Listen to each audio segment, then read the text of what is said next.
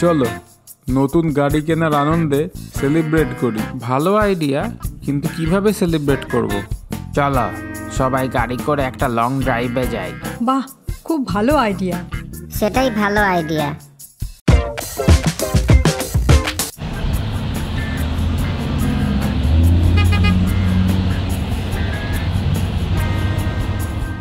এই গাড়িতে চড়ে বেশ মজা লাগছে বল।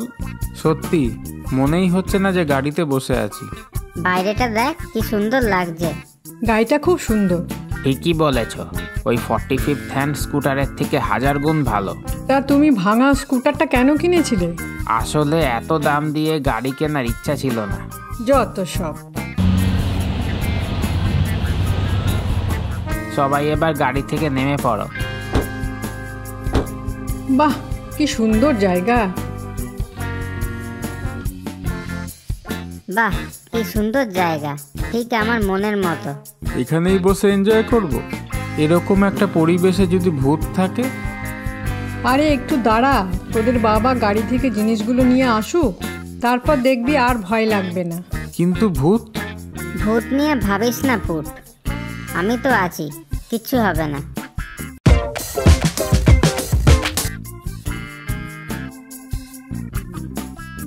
কি রে পুট এবার ভয় লাগছে? না আর ভয় লাগছে না।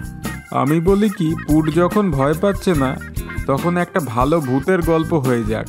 পিট ওরকম বলিস না।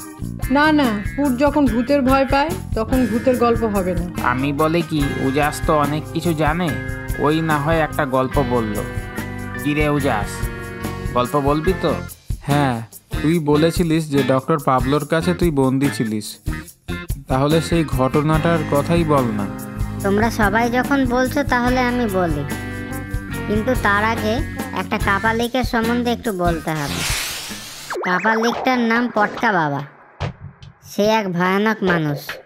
ওম বোম চোম ফটফট ঢং ঢং স্বাহা অন্ধকারের শক্তি।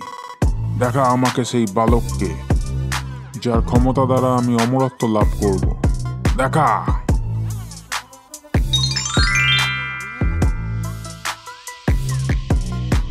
এ কি?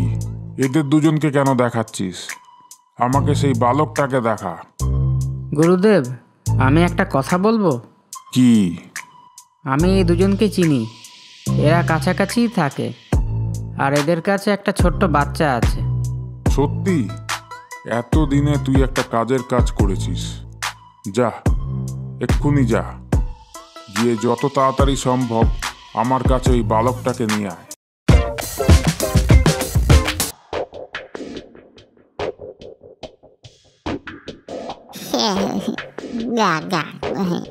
উজাস বাবা তুই এখানে বসে খেলা কর।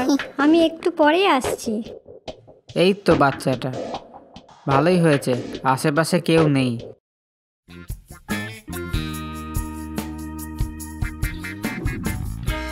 এই যে শুনছো? আমি উজাসকে স্নান করিয়ে বারান্দায় রেখে এসেছি। একটু পরে ওকে খাওয়াতে নিয়ে যাব। তুমি ওর উপর নজর রেখো। আচ্ছা ঠিক আছে। তুমি এক কাপ চা দেবে? হ্যাঁ দিচ্ছি। ও গাই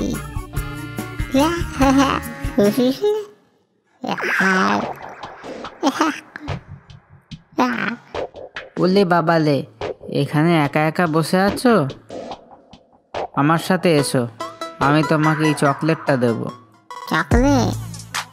এই নাও তোমার চা। দাও।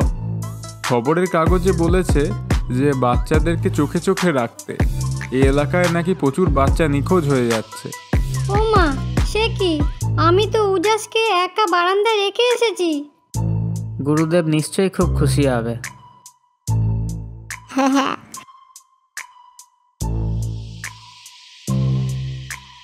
কি সর্বনাশ? উজাস তো এখানে নেই।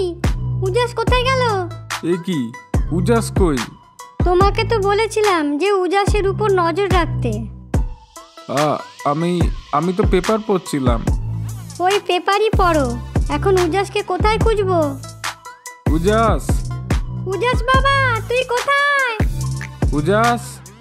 উজাস! উজাস!